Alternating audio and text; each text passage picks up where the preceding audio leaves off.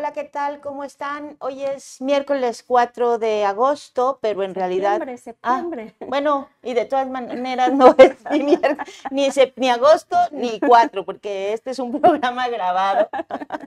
Pero también en septiembre. En, en septiembre, pero no, no el miércoles. Estamos en, viendo al futuro porque teníamos una entrevista con una persona que muy, eh, muy importante, con una, una persona muy especial que la atrapamos porque pues, estaba aquí de visita en México. Entonces, pues adelantamos este programa. Entonces ustedes nos van a ver el miércoles 4 de septiembre. ¿no? En la Escuela del Amor y por supuesto acá en la oficina, como verán, en la oficina de pie página, hoy no desde el Centro Cultural eh, Elena Garro, pero pues igual que cada miércoles platicando nosotras de estos otros temas que son alternos al, al mundo de eh, pues, la política electoral. Y como siempre, como cada miércoles, con Edurne Uriarte. ¿Qué tal, Dani? Buenos días a todos. Buenas tardes, Buenas más bien. Eh, Ahora que nos verán el 4 de septiembre, eh, En la tarde. en la tarde, serán las 5 de la tarde, que no es muy distinto a la hora que estamos ahorita. Y pues nos da muchísimo gusto estar con ustedes un miércoles más aquí, eh, justo como dices ahora en pie de página. Sí, y pues hoy vamos a hablar de unos temas bien importantes que tienen que ver con los movimientos sociales. Así Tú, es. pero antes, ¿tú fuiste al informe? No, Dani. ¿No fuiste al Me informe? fui a un baby shower. Te fuiste un baby shower y la revolución, ¿qué va a La pasar con esta revolución revolución de tuvo las que detenerse, sí, por, lo cambié por un hábitus. Por un hábitus. Diría Bordiú, sí. Pues vamos a hablar de un poco de eso, vamos a hablar de los movimientos sociales. eh, si ustedes vieron eh, la, la mesa roja de lunes, se darán cuenta que eh, pues tratamos de plantear el tema del movimiento social que ha implicado el obradorismo más allá del gobierno particular de estos seis años. eh, porque justo este, si algo tenemos y si algo podemos recuperar de la historia de México, pues es la enorme cantidad de revoluciones, de desde las revoluciones del, del 1910 hasta pues eh, las que estamos viendo eh, en- con otras formas que quizá no se llaman revoluciones, aunque son un poco revoluciones, como la del movimiento feminista, eh, que pues su forma más, eh, digamos, explosiva, potente y y diría yo hasta como sí de disruptiva es eh, la del movimiento de Me Too que pues, tuvimos en 2019, ¿no? Y que pues generó una serie de cambios que a lo mejor no nos estamos enterando. Yo ahora platicaba con Andy que en la, univers en, en la facultad de, de psicología, por ejemplo, pues eh, tienen como materias obligatorias las materias de género, que antes eran optativas, que en los baños tienen como botón de, de alerta, de alarma, de pánico, como le quieran llamar, que son cosas que Sí. se fueron cambiando a partir de esta irrupción. Entonces, sí son revoluciones, aunque no le pongamos la revolución mexicana, son revoluciones, ¿no? Sí, y yo al escucharte creo que la palabra que se me queda fija más bien es la de movimiento. Y, y dentro de movimiento, digamos, suceden a lo largo de nuestra sociedad cambios, cambios que, la, que distintas comunidades, como en el caso de las mujeres y distintas comunidades de mujeres, van promoviendo para que sucedan eh, revoluciones o detonantes que van a modificar de alguna manera nuestra vida cotidiana, ¿no? Eh, La transformación de un baño es una transformación en la vida cotidiana. La transformación de decirle no al acoso y denunciar el acoso es una transformación en nuestra vida cotidiana. La irrupción del zapatismo fue una transformación en nuestra vida cotidiana desde el 94 y que tuvo un impacto en muchísimos niveles y en la educación que muchísimas personas tuvimos y que, eh, bueno, algunos participaron mucho más activamente, pero de todas maneras eh, transformó muchísimo la vida pública, ¿no? Entonces, creo que esa palabra movimiento nos permite también como ir mirando, diagnosticando, ¿no? En nuestra lectura cotidiana, cuánto de ese, de ese movimiento produce una transformación, cuánto tarda esa transformación en ocurrir y, y en qué momento decimos que estamos en una transformación, ¿no? Que ha sido el gran debate de el nombre de la cuarta transformación de la vida pública de México, ¿no? Ahí el problema es que se institucionaliza, pero esa no es la historia de la que vamos a hablar hoy, no vamos a hablar hoy de la cuarta transformación, porque es justo la parte institucional. Vamos a hablar de los movimientos, de estos movimientos que han sido fundamentales para la historia reciente de México, que son eh, el movimiento feminista y el movimiento de los pueblos, el movimiento zapatista quizá, si lo queremos enmarcar ahí, aunque después abrió una enorme, eh, una... Ah, o sea, traspasó el tema del, zapatismo y, eh, eh, y, modificó un montón de cosas de las vidas de los pueblos en México. Entonces vamos a hablar de eso y vamos a hablar de, con una mujer que admiramos muchísimo, que no solo es inteligentísima, sino que además eh, tiene la enorme habilidad de entender muy bien estos procesos y estos movimientos y es...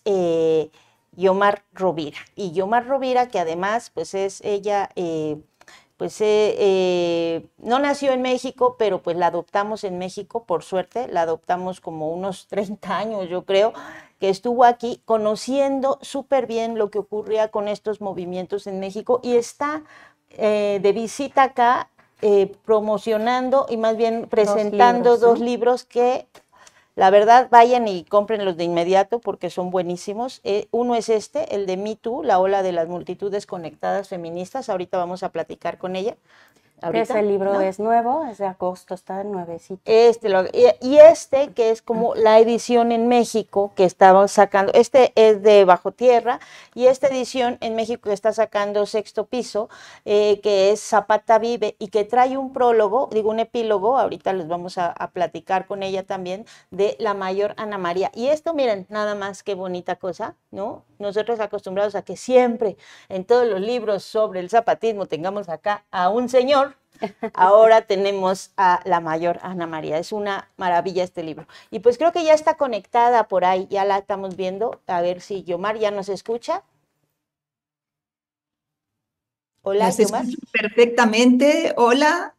Pues aquí emocionadísima de estar con ustedes, mis grandes referentes del periodismo, mi Daniela Pastrana, que viene Durne estar aquí en la, la, hora o la escuela del amor, no sé si la estoy rebautizando. En la escuela del amor. La escuela del amor, que creo que es el título, el título más acertado, ¿no? Tenemos que aprender a ser amorosas, a, a, poner el amor pues como el gran principio de nuestra vida y de nuestros vínculos. Entonces, feliz de, de poderles presentar estos libros y de platicar con ustedes. Pues, eh, Yomar, este, uno, bienvenida, gracias. Eh, hubiéramos querido que estuvieras acá, pero las lluvias, acá en la oficina, pero las lluvias en esta ciudad están tremendas. Y entonces, pero dijimos, tenemos que atraparla antes de que se nos, de que se nos vuelva a ir, eh, porque eh, hemos visto que has estado presentando estos dos libros en distintos lugares y nos parecía que es fundamental que en la Escuela del Amor hablemos de estos dos, eh, eh, eh, de estos dos movimientos. Ahorita estábamos hablando de si son revoluciones o no, que revolucionan y que transforman y que ha transformado. Y pues yo creo que podemos empezar, ¿no? Empezar quizá con el más nuevo o con cuál. ¿Cuál? Pues, a ver, ¿tú con qué quieres empezar, Edurne? Creo que a mí me gustaría preguntarte, porque leíamos, bueno, eres periodista, haces mucha investigación de movimientos sociales, y a lo mejor quizá una idea general de qué son para ti los movimientos sociales y, con qué te encuentras en este viaje, ¿no? Eh, por ejemplo, del zapatismo o de la ola este, del Me y demás, ¿no? Bueno, pues eh, la pregunta me encanta porque justamente al estar con ustedes yo he estado presentando estos dos libros por separado, primero uno, luego el otro y viceversa. Y ahora al enfrentarme a esta presentación, a lo que ustedes están comentando, ¿no? de que son movimientos sociales, me hace pensar también la fuerza y la diferencia entre ellos. ¿no? El zapatismo es una irrupción, una interrupción, digamos, eh, brutal en un momento en que sacude el mundo desde un rincón del, planeta, el sureste mexicano, con la, rebelión indígena de Chiapas, una rebelión armada, y en ese sentido logra interpelar a todo el mundo por ese momento tan inesperado, por esa demanda de justicia, de, libertad, de dignidad de pueblos absolutamente abandonados por, el Estado y en condiciones de, precariedad y de miseria y de, explotación tan bestia. Y por otro lado tenemos el movimiento feminista, que siempre es el, eh, digamos, una, un movimiento que interpela eh, las formas, los hábitos, la cultura, esa vida cotidiana inmediata en la, que, en la que estamos inmersas todas y todas. ¿no? Entonces, ahí tenemos como dos grandes tipos de, de, movimiento que a la vez convergen, porque no se puede entender el movimiento, la ola feminista actual o incluso todo lo que está pasando hoy en México con la llegada de una presidenta y de una cuarta transformación, sin tampoco el zapatismo en el 94, ¿no? Esa irrupción, esa interrupción y ese espejo que desde los pueblos indígenas nos ponen en, en, ese espejo que nos demuestra pues, que México, eh, eh, la construcción de la nación mexicana se ha hecho sobre, digamos, el olvido, la muerte y la marginación de los pueblos originarios, ¿no? desde, desde la colonia hasta el Estado postcolonial, ese olvido ha estado ahí, esa fuerza, digamos, en mala digestión, como diría Bolívar Echeverría, ¿no? de, la, conquista, la, guerra y el exterminio, ah, en el fondo no, no, han sido totales, sino que siempre han estado en mala digestión en este Estado-nación eh, supuestamente mestizo y que irrumpe con una fuerza interpelando no nada más el Estado y no nada más interpelando la necesidad de una justicia social y de una redistribución de la riqueza, sino interpelando también los marcos culturales, poniendo en el centro que es un país racista, que vivimos y hemos olvidado ese, ese racismo constitutivo mismo del Estado y a la vez poniendo en el foco y en el centro también a las mujeres indígenas como las más olvidadas de los olvidados. Y con estos personajes tan importantes y tan carismáticos que, ha proporcionado el, zapatismo, como puede ser eh, la comandante Ramona o como puede ser ahora pues en el epílogo que escribimos Rosa Luz Pérez, una investigadora muy querida, y yo en esta entrevista que le hacemos a la mayor Ana María. Entonces, me parece que es bien interesante ver la diferencia entre los movimientos y a la vez cómo tienen mucho en común, ¿no? porque la ola de, las multitudes conectadas feministas y este mito que aparece como, como consecuencia dentro de este gran ola internacional también, que es una ola global, pues también interpela esa presencia de las, de las mujeres en todas las luchas sociales y en todos los campos y, bueno, y esa necesidad ¿no? de, de, despatriarcalizar también las luchas sociales, los movimientos que han sido tan, tan patriarcales, tan marcados por esa violencia racista, clasista y, y sobre todo patriarcal.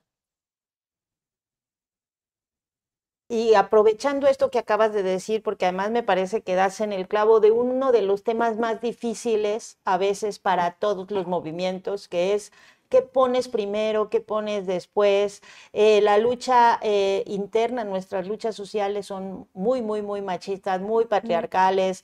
Los compañeros en los medios a veces también, este, ¿no? Entonces, eh, en todos lados. En todos lados. Y entonces, ¿qué hacemos? O sea, ¿en qué momento, cuándo, cómo vamos eh, cruzando estas, eh, estas distintas luchas que hay que dar ante sistemas eh, que son opresivos en distintos modos, pero que siempre pues se ceban más y más y más entre cuando se cruzan varias opresiones, ¿no? Mujer, indígena, bueno, pues ya es eh, triplemente eh, eh, fuerte. Y te lo quiero preguntar, antes quiero poner en contexto a, la audiencia a pie de página.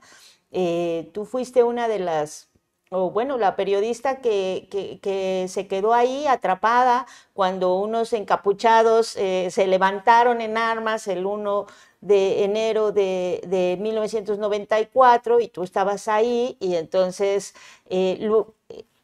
pues estabas ahí, podías reportar desde ahí y cuando todo se cerró porque empezaron los balazos, pues ya muchos periodistas no pudieron entrar. Y entonces pues toda nuestra fuente de información para, para el mundo, pues ahí estaba en tu mirada y en tus ojos. Y después escribiste un libro hermoso que se llama Mujeres del Maíz, porque siempre has tenido, y esa es una de las cosas que creo que yo más eh, aprecio y admiro de, de tu trabajo, siempre ha estado esta mirada puesta no nada más en el alzamiento, sino en el enfoque de las mujeres, ¿no? Y desde Mujeres de Maíz hasta ahora que presentas este libro, insisto, con el epílogo de la mayor Ana María, pues mantienes esa mirada. Y este epílogo, este, esta última entrevista donde, donde cuenta ella cómo salió y de qué forma salió del, del movimiento, es muy fuerte. Es muy fuerte porque justo nos habla de un sistema patriarcal donde las mujeres que pueden estar hasta adelante en las filas organizando, de pronto son desechadas por este sistema. Entonces, eh, poniendo eso en contexto a nuestra audiencia, yo te quiero preguntar dos cosas. Uno, eh, esto, las distintas tensiones entre las diferentes luchas, ¿no? O sea, cuando ponemos, porque siempre ha sido esto de que, bueno, los temas de las mujeres después, ahorita hay que ganar la revolución o, no. Eh, eh, lo, importante que es que también recuperemos estos relatos, pues, y estas historias también del mundo patriarcal dentro, y también un poquito que nos cuentes, pues, eh, pues 30 años, se cumplen 30 años, se están cumpliendo este año 30 años de ese alzamiento. Eh, ¿Cuál es eh, tu mirada ahora después de que regresas ¿no?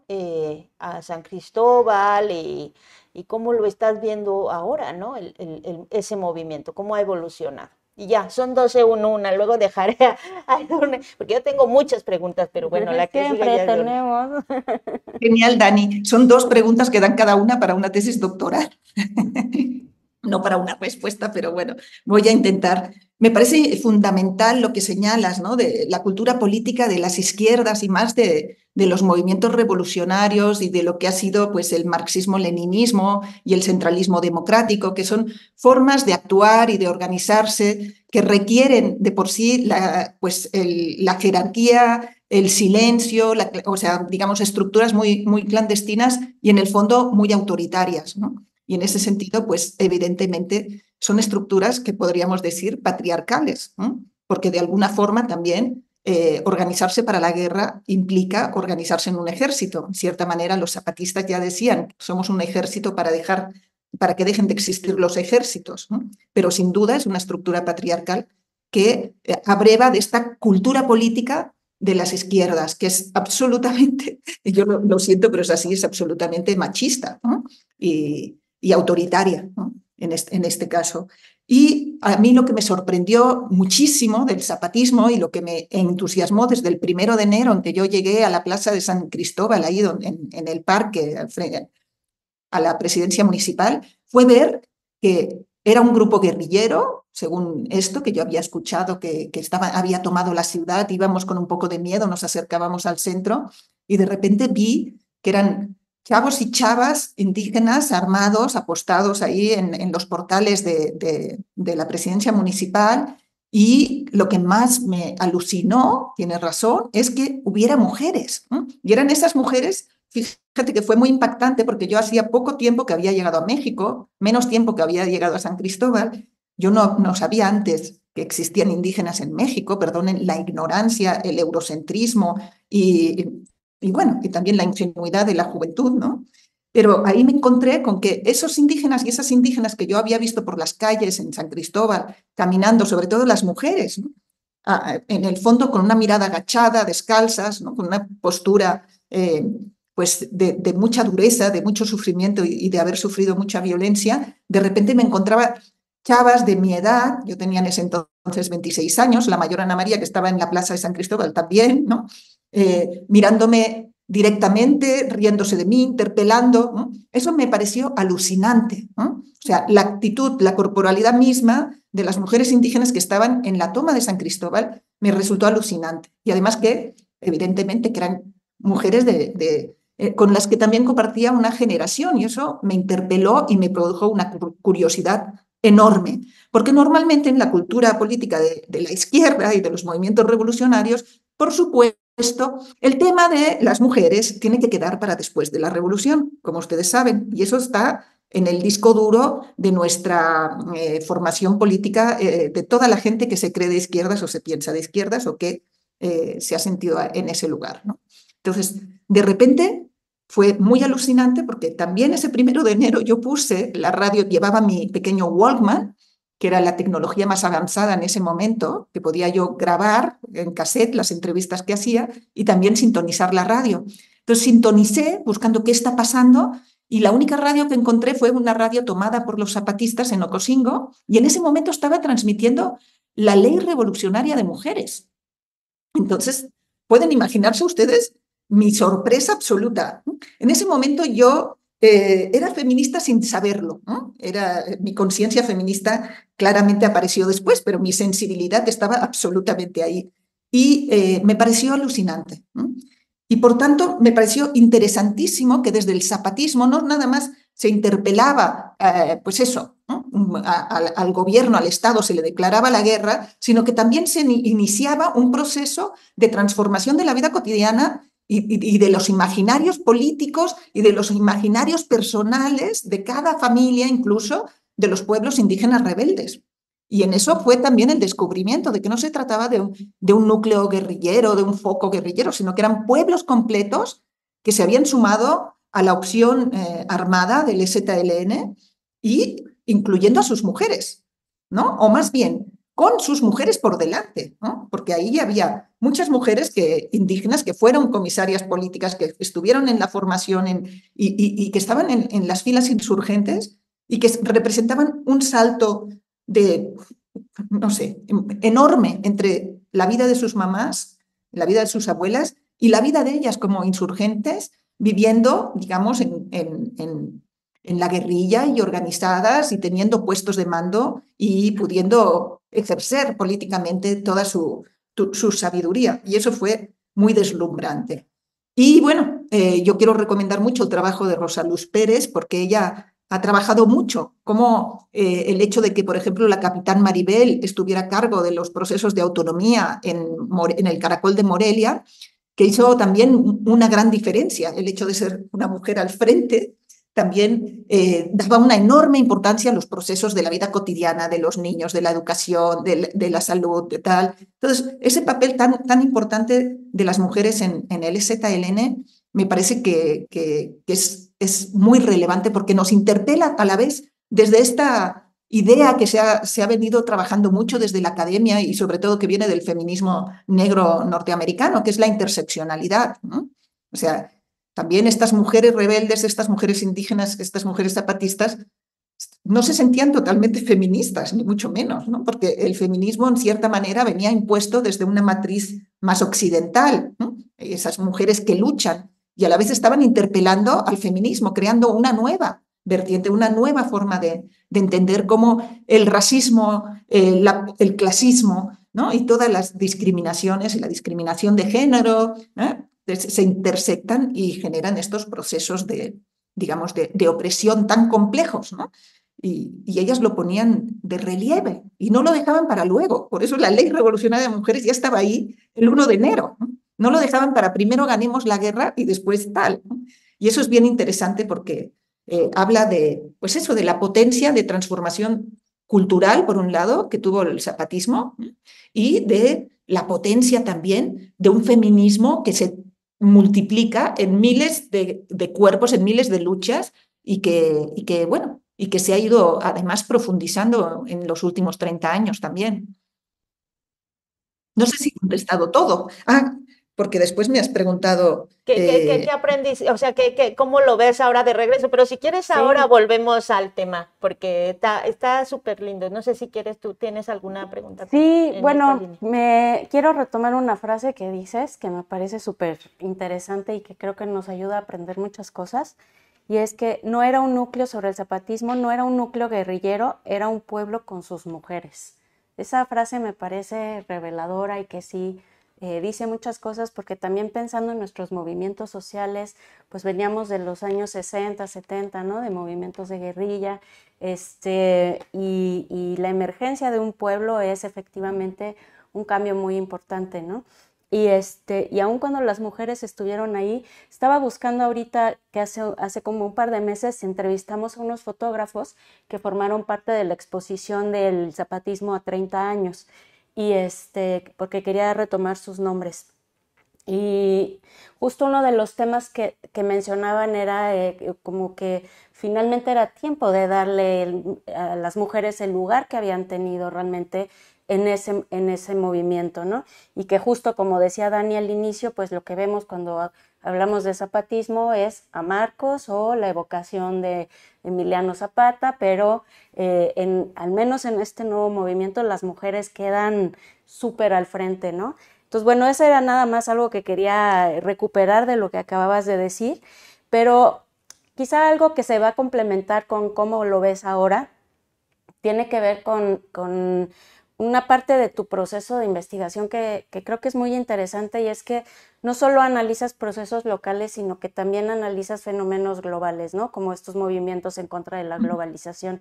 Entonces, creo que ahí hay, no sé, qué ideas nos das o qué lectura nos das desde tu experiencia para entender, eh, porque por ejemplo el feminismo, pues habla de muchos feminismos, ¿no? Y parece que el feminismo es esta intervención occidental, de, ¿no? De, una lucha política, pero al mismo tiempo con lo que acabas de describir, pues confrontas un, proceso de ser mujer, de defensa eh, de un territorio, de una defensa política clara, donde las que están encabezando son las mujeres, pero también es un fenómeno local que, que está lejos, ¿no? A lo mejor del feminismo hacia el zapatismo hay mucho interés, pero pero de, de la comunidad hacia el feminismo puede no ser tanto tan dialéctico, ¿no? Entonces, pues por ahí va mi, como mi inquietud, más, ahora sí que más que una pregunta, le tengo una inquietud. Muchas gracias, Edurne. Bueno, otra vez, ¿no? Una súper, súper, súper interpelación la que me haces. Bueno, antes que nada, yo quisiera decir que las mujeres siempre hemos estado en las luchas, siempre.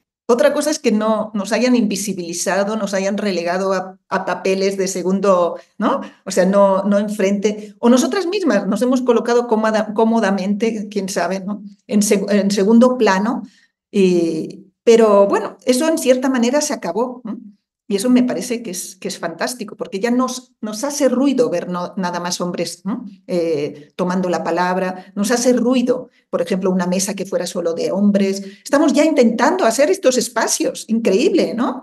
Como, como, como la mesa roja o como ahora, ¿no? La escuela del amor, donde las mujeres nos autorizamos a tomar la palabra y a decir y a poder opinar y a poder construir políticamente nuestros argumentos. Y esto es absolutamente novedoso y maravilloso y desde el periodismo se está haciendo y desde las redes también. Entonces me parece que es interesantísimo ver no tanto que nos han dado nuestro lugar, como en algún momento decía, sino que nos hemos, hemos arrebatado nuestro lugar, un poco como hicieron las compañeras zapatistas, ¿no? que dentro del mismo ZLN, ellas dijeron, aquí estamos nosotras y por tanto eh, necesitamos una ley de mujeres y por tanto tenemos que participar plenamente y, en cierta manera, el hecho mismo de que en ese núcleo guerrillero que llegó a la selva lacandona a intentar, eh, digamos, eh, ampliar el proyecto de, hacer un ejército zapatista de liberación nacional, el hecho de que hubieran mujeres, y, y, mujeres en el caso de Ana María, ¿no? mujeres indígenas, campesinas,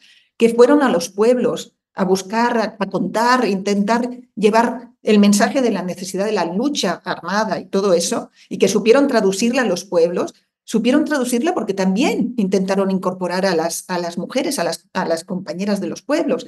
Y, y, una vez también las compañeras de los pueblos se, se implicaron, es cuando vemos la posibilidad de que eso no sea nada más un núcleo guerrillero, sino de que sea un pueblo alzado en demanda de tierra, porque esa es la gran, piensen que en, una de las grandes demandas del zapatismo que hace posible que fructifique la vía armada es todos los problemas que tenían para regularizar las tierras, los peones acasillados que habían dejado las fincas donde vivían en regímenes de semiesclavitud, ¿no? Toda esa falta de tierra también que había en los altos de Chiapas y todo eso lleva a conflictos con el Estado que no resuelve nada, conflictos con las guardias blancas, con los terratenientes y con todo eso. Entonces, no solo es, eh, es la tierra, son las mujeres y entonces son los pueblos completos los que se suman a un proyecto digamos, político que dice ya basta, armado que dice ya basta. Y entonces ahí están estas mujeres que interpelan también al mundo junto con, con sus compañeros en esta lucha. Y como tú dices, para mí es clave, y como internacionalista que soy, de vocación, ¿no? y, y precisamente por, por toda la historia también de las brigadas internacionales que participaron en la Guerra Civil Española y en la Revolución Española, eh, pues como me, interesa muchísimo entender los lazos transnacionales que generan las, las, las luchas sociales. Y el zapatismo logró interpelar al mundo entero. El 1 de enero entraba, del 94 entraba en vigor el Tratado de Libre Comercio de América del Norte y, eh, digamos, ahí eh, en la plaza de San Cristóbal, Marcos dijo, esto es un decreto de, extinción de los pueblos indígenas, y ese mensaje resonó, se convirtió en un, en un acontecimiento mediático global, todo lo que estaba pasando en Chiapas en ese momento, resonó en todos lados y generó, yo digo, un entusiasmo por la revolución, ¿no? esa idea de Kant eso fue mi tesis doctoral. ¿no? El entusiasmo por la revolución que generó el hecho de que los más pequeños del mundo y las más pequeñas se eh, dijeran ya basta y se rebelaran y dijeran eh, estamos dispuestos a morir por una vida digna. Y, y, entonces ahí se, se vieron reflejadas todas las luchas del mundo y todos los excluidos del mundo y se generaron procesos de solidaridad increíbles que llevaron a, para mí, eso es un tema súper importante, a, digamos, desde el 94 viene el llamado de atención a qué globalización estamos construyendo. ¿no? Entonces, y el 94 y, y, después todo el movimiento de resistencia global, el altermundismo que está ya en Seattle contra la OMC, el Fondo Monetario Internacional y tal, lo que están diciendo es otra globalización es posible. Y tenemos que luchar por otra globalización que no sea la globalización capitalista, que no sea la globalización del extractivismo y de la violencia y del neocolonialismo digital que tenemos hoy en día. Entonces, todo esto, digamos, si se fijan, son como eh, destellos que vinculan, que generan estos procesos de conexión, de red y de, y de capacidad también de, de, impugnación del modelo dominante. Y en, ese sentido me parece clave porque igual el feminismo, que crece también al calor de este movimiento global, de esta capacidad de conexión, de conversación, de entender que tenemos problemas compartidos y que el mundo parece que está en manos del 1%, mientras el 99% pues somos las mayorías que estamos ahí eh, pues intentando sobrevivir y luchar en ello, ¿no? Pues el, el feminismo viene a ser también un movimiento que se extiende a nivel global a través de hashtags, a través de estas conversaciones en las redes sociales, ¿no? Y a través de estas movilizaciones contra esta máquina de devastación y de guerra que ha sido la globalización neoliberal que se basa en la guerra y que ha provocado, pues eso, ¿no? La guerra en el cuerpo de las mujeres, el, el, el, crecimiento de los feminicidios, la violencia, pues eso, ¿no? extractiva, colonial, patriarcal, que está profundamente imbricada. Y contra todo esto aparece esta posibilidad de articulación de una sensibilidad otra, que es una sensibilidad feminista, es una sensibilidad ecológica, feminista, que defiende la tierra, que defiende las condiciones de vida, lo cotidiano, ¿no? como decían ustedes al principio, que se meten en, lo personal es lo político, es el lema eh, feminista tan importante, y que dice, no, pues tenemos que poner la vida en el centro, ¿no? tenemos que cuidar la vida y además no podemos ya estar en proyectos de emancipación que nos prometen una utopía en el futuro, sino que tenemos que vivir aquí y ahora y transformar nuestra realidad cotidiana aquí y ahora, porque nuestras hijas, hijes, hijos están creciendo aquí y ahora. Quiero eh, ahora eh, justo preguntarte, pasar a irnos hacia adelantito y pasar a este otro libro que es el de Me Too, la ola de las multitudes conectadas feministas, porque creo que además conecta perfectamente con lo que acabas de decir, ¿no? E, esas luchas, o como bien decías, esta, esta, es posible porque existió la otra y así, eh, eh, pero que tienen todos estos componentes, hacer red, eh, tener una visión básicamente también eh, en muchos sentidos eh, anti contra el sistema que, que, no nos está dando ni, futuro ni presente, ¿no? Y que eh, tratas en este, que es un, un, libro muy, muy, muy, muy fácil de leer, o sea, muy, de, muy clarificador y muy de mucha pedagogía, pues tratas no solo el caso en México, sino el de Francia, el de, ¿no? El del hashtag en el mundo, Estados Unidos, o sea, todas estas que al final, como ocurre con muchos de estos procesos, están conectados, unas este, ideas llegan a otro lado, otras ideas llegan a otro lado, se cruzan en muchos sentidos. Eh, entonces quiero que nos platiques un poco cómo, cómo hacemos el puente entre eso que nos estabas contando del movimiento zapatista a este, a este, de, a este que llega del del que además también cuentas pues estas tensiones que se dan eh, eh, no sé, pues generacionales, en, muchos sentidos también, ¿no? O sea, que, también nos van confrontando a las feministas que hemos tenido otras luchas, ¿no? Entonces, confrontando y además también vamos aprendiendo unas y otras. Entonces, un poco, ¿cómo hacemos ese puente?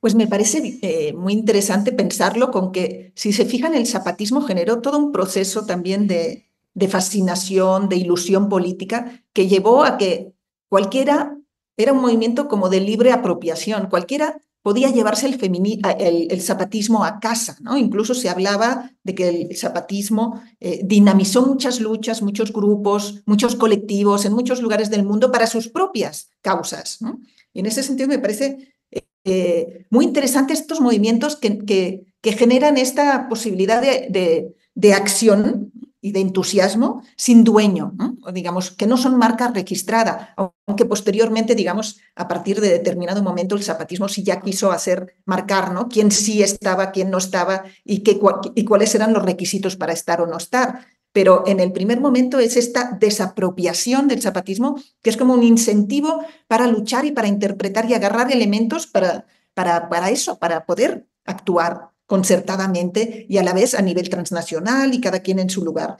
Y siento que en cierta manera el caso de, las multitudes conectadas feministas es lo mismo, es un feminismo de libre apropiación. O sea, muchas de la gran mayoría de, las chicas, sobre todo muchas jóvenes, que entran a, constituir este, este, entramado de esta red múltiple, ¿no? Y, híbrida incluso, que, tiene todas estas eh, eh, ramificaciones entre la cultura de masas, la cultura más feminista, las, las, celebrities, eh, las más radicales, o sea, todo eso está ahí. Es un feminismo de libre apropiación. Cada quien inicia sus conversaciones con sus amigas, aprende a la vez eh, sobre el feminismo a través de memes y con sus pares, en ese sentido, no necesariamente leyendo a las grandes autoras, ni, sino al revés, ¿no? así. Incluso muchas cobran conciencia feminista posteriormente a, escribir un hashtag de mi primer acoso o, mi tú. Entonces es como una entrada en, ello. Entonces me parece muy interesante como fenómeno cultural, eh, digamos, completamente opuesto a lo que podrían ser las estructuras jerárquicas de la vieja cultura de la izquierda, o de, las izquierdas revolucionarias, porque tienen que ver con que ahí sí que no hay líderes, no hay un comando central, no hay un discurso único, no hay un programa, lo que hay es política prefigurativa. ¿Qué quiere decir política prefigurativa? Pues un intento de poner en, acción, en escena, eh, el mundo posible que queremos aquí y ahora, a través también de darle valor a la voz de cualquiera. Distribuir la voz es muy importante. Ya no hay la voz de la persona autorizada, la voz del que ha estudiado, la voz del, del, medio de comunicación que te abre la puerta y te deja participar, ¿no? Y, menos para, y entonces para las mujeres es un, de repente, cualquiera de nosotras encuentra en ese espacio digital, a pesar de que es un espacio corporativo manejado por los intereses de las grandes eh, empresas digitales y de la extracción de datos, las mujeres empiezan conversaciones inesperadas, que son conversaciones que llevan a procesos de transformación radical del sentido de, del amor, del sentido de la vida cotidiana, del sentido que es la violencia, del sentido que es el noviazgo, del sentido de, de cómo es posible que, que, en el matrimonio te puedan violar, ¿no? O sea, entender que puede haber violación en el matrimonio, o sea, cosas que nunca antes nos habíamos planteado. Y, digamos, el feminismo estalla en miles de temas desde la gordofobia, el amor romántico, a la violencia obstétrica, a la necesidad de, descriminalizar el aborto en todo el planeta, a la necesidad también de poner en escena eh, la importancia de, pues eso, de las mujeres en la reproducción de la vida, en la economía misma. Y, entonces, y, entonces, pues hay ese, ese, esa capacidad de, de acabar con el falogocentrismo, ¿no? que viene de falo, logo, palabra, centrismo, ¿no? O sea, la palabra bien dicha del macho, ¿no? Y eh, centrada y el discurso único, sino lo que vemos es la proliferación de experiencias. Y la voz de la experiencia pasa a tener una gran relevancia. Y todas nosotras de repente nos podemos entender y, encontrar en la experiencia de las otras. Y es algo que no hemos tenido porque la reflexividad cultural, que es tan importante, que está en los productos culturales, la hemos hecho a través de productos hechos por hombres. Yo veía eh, eh, todos los libros que leí cuando era jovencita, tengo unos cuadernos donde apunto y las, citas preferidas.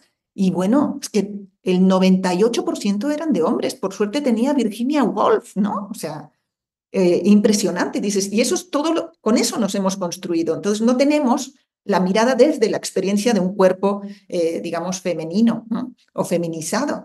Entonces, creo que todo esto nos lleva a un momento de oportunidad muy grande, porque cambiamos la sensibilidad política a través también de este desestructurar, desestructurar las formas jerárquicas y constituirnos redes, en redes, en redes, en, yo digo constelaciones performativas, que son muy potentes y que tampoco están eternamente ahí, ¿no? Pero son momentos como de apertura, de entendimiento, de podernos decir, yo sí te creo. Entonces, un poco lo que, lo que veo, y yo también, como tú dices, Dani, ¿no? Yo lo he aprendido con mis estudiantes, porque nosotras somos otra generación y, cuesta mucho. A mí me costó mucho cuando mis estudiantes empezaron a, escribir sus testimonios en, en, redes. Yo casi me muero y de repente diciendo, ¿y yo? ¿Cuándo fue mi primer acoso? Digo, lo, lo, tengo tan naturalizado que ni sé, ni sé, ¿no? O sea, ni, ni sabía. Pero luego, a través también de los relatos y de la escucha, podemos entender y hacer consciente aquello que ya no tenemos por qué aceptar y cosas y experiencias dolorosas que tenemos ahí y que ya no queremos, como dicen muchas de las, de las jóvenes que, o de las personas que han, que han participado en estos debates tan bestias, lo hacen para que no le pase a la otra, a mi hermanita chiquita, a, mi amiga. entonces hay ahí como una, una capacidad de, de, de generar esta, esta sensibilización, este acuerpamiento, que lo tenemos hasta en las palabras, ¿no? La cuerpa, el acuerpamiento, ¿no? Toda esta, esta fuerza, digamos, que tiene que derivar en una fuerza amorosa, no en una fuerza vengativa, ¿no? Sino una fuerza que nos, que nos incluya a todos, porque esto es un problema sistémico y no es un problema de personas individuales, ¿no? sino sistémico. Y ahí entramos todos, todas, todos. Y un poco pensando también hacia el cierre, porque se nos empieza a acabar el tiempo, ¿no? Pero primero lo primero, ¿no? Como dice, algo que decías tú y que dice Dani todo el tiempo, no más mesas de señoros. Entonces eso había que resaltarlo, ¿no? Y, otra cosa es que pensando en la palabra, creo que una de mis palabras favoritas de este nuevo tiempo es la colectiva. Me encanta esa palabra, cómo suena en femenino. Y este, y también escuchándote pensaba como en esta forma de organización de, las, de, los, de los grupos sociales, cómo tienes eh, por un lado el, el, movimiento zapatista que sigue estructurándose de alguna manera en una forma jerárquica, este, militar, como tú dices, ¿no? Ahora con la mayor eh, Ana María, este, pero que sigue esa línea, ¿no? Que es completamente masculina también. Y ahí va a ser interesante, pues mucho que reflexionar en el tiempo, si eso se transforma, no y cómo. Y pensando también en oposición a las Fuerzas Armadas, que ahorita con la transición de Claudia Sheinbaum, en algún momento alguien se preguntó si no podíamos tener una secretaria general de las Fuerzas Armadas, ¿no? Y resulta ser que ni siquiera está contemplado en la estructura militar. O sea, no hay una sola mujer en ese rango hasta allá arriba que, que, pueda ser siquiera candidata. O sea, simplemente no es posible. Entonces eso, pues no sé, me, a mí me deja pensando en todo eso. Pero en oposición, el Me Too y todos estos movimientos feministas que dices se, se agrupan por libre apropiación, ¿no? Entonces hay una diversidad también allí en la en las posibilidades del, movimiento social. Y, creo que sí sería buen momento para retomar esta pregunta que está rondando en la mesa, que ya te lo, te lo mencionaba Dani, y es cómo, cómo mirar en, estos 30 años estos movimientos de las mujeres y estos movimientos eh, del zapatismo, este, pero pensando también pues, en su estructura, en su organización, en su composición y, en su potencial también, ¿no? Sus límites, sus alcances desde esa organización. Bueno, pues sí, es difícil contestar, ¿no? Porque realmente, digamos, eh, la estructura jerárquica de, digamos, propia de, un ejército o de una guerrilla como el, el ZLN, ¿no? el ejército zapatista, digamos, es útil para determinadas cosas. Para sostener, por ejemplo, eh, pues la disciplina, para mantener la resistencia frente a un enemigo, para, ¿no? para determinadas cosas es muy útil. Eh, la forma de red de los feminismos es también una forma muy útil para cambiar, transformar los imaginarios, generar procesos estéticos muy importantes, ¿no? como toda la creatividad de las colectivas y del activismo feminista. Esto es impresionante porque esto nos permite también eh, pues, tener otros referentes, podernos pensar, podernos hablar, podernos decir, ¿no? O sea, la, performance de las tesis, tantas performances, tantas mm, eh, gráfica, tanta potencia. Canciones, todo lo que quieras ¿no? que, tenemos en el, en el feminismo. Pero también vemos las limitaciones de esta forma red, que las limitaciones de la forma red es que también viene el, el backlash, ¿no? Y, digamos, no hay quien, quien, quien, pueda responder, no hay una continuidad, no, hay una capacidad necesariamente organizada, sólida.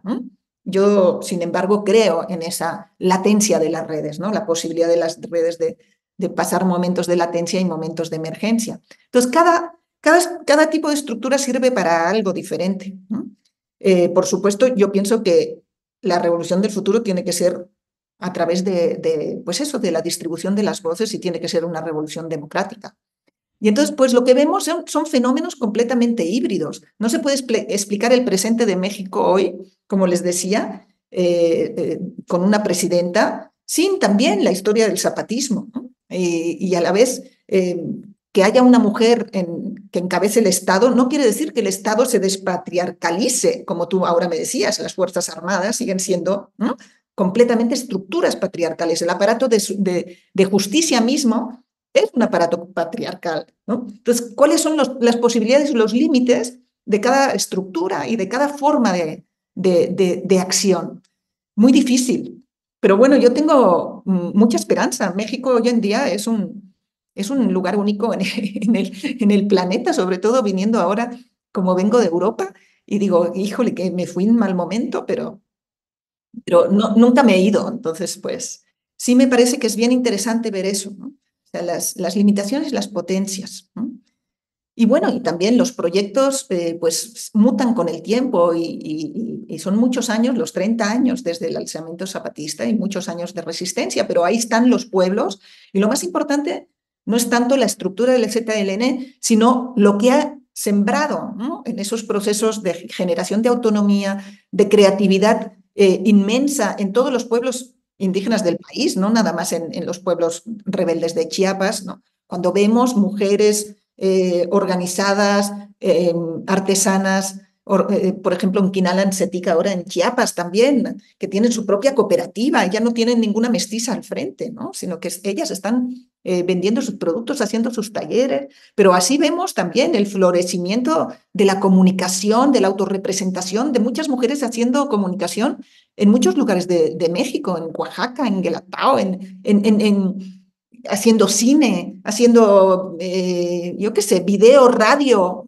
y, hay, y esa e, explosión de voz, de voces y de, y de autorrepresentación y dignificación de las, de las culturas eh, originarias de este país es deslumbrante. Y eso no se puede entender también sin, sin el zapatismo, a pesar de la deriva del zapatismo actual, que, que, digamos, está más sometido pues, a, a estas dificultades mismas de, pues eso, ¿no? del territorio donde hay la presencia del crimen organizado y hay eh, muchos, muchos grupos armados y también disidencia.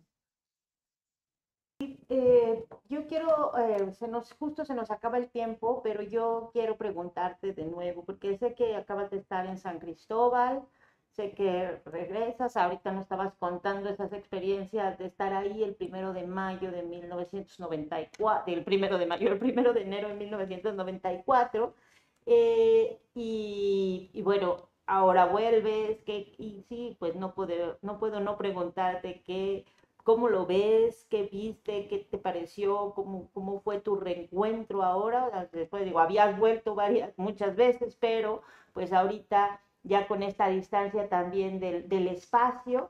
Eh, eso, y también, bueno, pues ahorita vamos a platicar de donde este de Me Too, yo lo vi y yo lo, conseguí en eh, la librería Volcana, que está ahí en la Nueva Santa María, en la Ciudad de México. Ya lo nos reclaman que hacemos, que reclamamos, o sea, que promovemos cosas de la Ciudad de México, pero pues es donde estamos y entonces es a las librerías que uno va pero eh, sí ubicar un poco dónde podemos conseguir o dónde pueden conseguir estos libros, que seguro nos lo van a preguntar. Entonces, pero bueno, cuéntanos cómo te fue ahora que regresaste a San Cristóbal.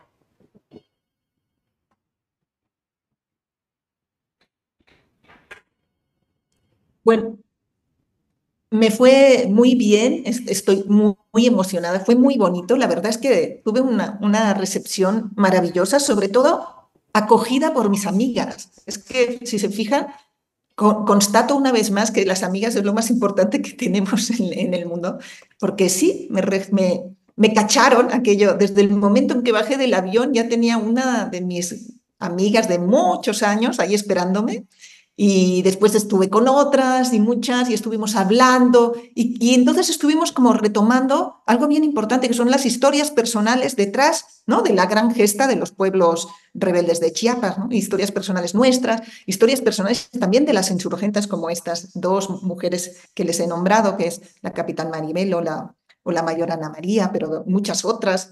Entonces fue una recepción muy bonita, hice una presentación en el Museo Tatic Samuel Ruiz, que con, con la directora del, del, Museo Tatic, que me estuvo entrevistando, y allí llegaron muchos viejos periodistas de, de entonces también, muy queridos, y, y, gente de todos lados, ¿no? Gente muy, muy especial que lleva ya también muchos años muy cerca y acompañando al zapatismo, otra que ya, ya es más crítica, pero tuve la fortuna de poder interlocutar con todo el mundo desde una posición eh, muy, muy bonita, y eso me, me llenó de verdad la, pues, de, alegría y, y, de gusto, a pesar de las muchas ausencias, ¿no? porque realmente eh, volver a Chiapas, aunque había vuelto, nunca había vuelto así públicamente. Y, sí, hay muchas, muchas personas que, que ya no están y, y, es fuerte, ¿no? Como el paso del tiempo y cómo el tiempo va borrando ¿no? la, la, historia, pero no, no, no podemos olvidarlos y por eso también que se reeditara este libro 30 años después, este libro que se lo llevó Iñaki García, mi compañero de Barcelona, eh, del colectivo de Solidaritat amb la Rebelión Zapatista. En el 94 vino y en junio me dijo, Guiomar, tienes que escribir este libro. Me puso, me sentó ahí ante una máquina de escribir y se lo llevó bajo el brazo, que hoy se publica en México. Es para mí un gusto muy grande, porque sí tiene toda esta parte de, de estos testimonios de primera mano de los primeros meses, ¿no? Que, en que todavía no había un discurso oficial y todavía era un descubrimiento para mí, ¿no? Como, como periodista y, y ahí puse toda, toda mi intención. Entonces, pues sí, ha sido un viaje interesante, también eh, doloroso ver pues todo, todo el proceso de, de, de, descomposición y crecimiento de San Cristóbal de las Casas, la aparición de estos grupos, digamos, de motonetos, la, todo lo que cuentan de, de, pues, las nuevas formas de violencia que aparecen, eh, y pues eso, muchos, la atomización también de, grupos paramilitares, grupos armados por todos lados, eso me, me estuvieron contando. Entonces, esa parte me parece triste, pero por otro lado sí se ve el, el florecimiento de, esta, de los pueblos también, ¿no? O sea, es completamente eh, contradictorio o ambiguo, digamos, es, es, como siempre México es extremo por los dos lados, ¿no? Me decía un compañero. No que, decir. Me decía un compañero que ha ido casi cada fin de año, Fernando Santillán, que luego está acá, eh, nos decía que pues ellos van casi cada fin de año, ¿no? Más bien. Me decía que nunca había visto tantos jóvenes en, las, en los caracoles como, a, como este fin de año que fue en 2023, ¿no? De esas contradicciones. Yomar, muchísimas gracias. Es siempre un gusto, un placer. Qué bueno que te pudimos atrapar y qué bueno que pudimos ir a las presentaciones de algunos de tus libros, porque es maravilloso, de verdad maravilloso escucharte siempre. Dinos dónde conseguimos estos libros este, para quienes no los tengan, porque yo ya tengo los míos. yo voy por los míos también. Muy bien. Bueno, pues el Zapata Vive eh, de la editorial Sexto Piso lo pueden pedir en cualquier librería. No hay, eh, yo creo que está, tiene una muy buena distribución. Y Bajo Tierra Ediciones, eh, su distribución también está intentando llegar a todos lados, pero eh, sobre todo lo pueden pedir desde cualquier lugar de la República en la página de Bajo Tierra Ediciones y lo mandan a cualquier lado, sin, con un precio módico por el envío. Entonces lo encuentran en la Volcana, evidentemente, en la Nueva Santa María la Ribera, pero también lo pueden encontrar, creo que en la librería Utópicas o en las librerías eh, donde distribuye Bajo Tierra, o si no, ya les digo, en la página de Bajo Tierra lo pueden pedir. Y en todas las ferias del libro, también ahí siempre está eh, Gise con su chiringuito, con su paradita, con su tianguis, con, con los libros de Bajo Tierra, que son todos muy buenos y hay eh, una colección fantástica también sobre el tema de Chiapas. Pues muchas gracias por este feminismo licencioso, como dicen en la mesa roja, que no silencioso, ¿verdad? Nunca Maravillosas. Nunca más Nunca más. Maravillosas. Muchas, gracias. Muchas gracias, Yomar Rovira. Las quiero mucho. Un abrazo. Pues con esto cerramos, Dani. Con esto cerramos una conversación maravillosa, encantadora. Yo soy muy feliz y además de verdad estoy disfrutando mucho eh, las lecturas. Eh, eh, primero tenía este, pero luego recibí este y entonces... Ya vi que los vas avanzando, los vas avanzando. los subrayados, ya vi. Sí, bueno, pues creo que es, con esto vamos cerrando y con anuncios que vamos a hacerles próximamente de algunos cambios, quizá también algunos cambios de horarios, porque necesitamos también tener como, empezar como a, a, a, ver como nuevas eras, está cambiando todo, está cambiando la comunicación, eh, la Escuela del Amor va a seguir, vamos a seguir nosotras dos, sí, sí, sí. pero vamos a tener eh, próximamente algunos algunos avisos para ustedes. Pero por lo pronto, hoy con esto cerramos, ¿verdad? Así es, y nos vemos el otro miércoles en una emisión más. Muchas gracias, querida Dani. es pues un placer. Gracias a ti, gracias a Alexis, que acá estuvo en los controles, gracias a quienes se conectaron. Recuerden eh, que necesitamos también su ayuda para mantener estos proyectos y eso Así es. que pues lo recomienden, que le pongan like, que, que avisen, ¿no? Que nos ayuden como a difundir, que están estas historias que son otras historias, no las que todo el mundo eh, está a veces viendo, sino a veces hay otras, hay que salirnos y mirar un poco desde las periferias. Eh, y pues con eso nos vamos hasta el próximo miércoles y un abrazo muy grande a todos. Hasta luego.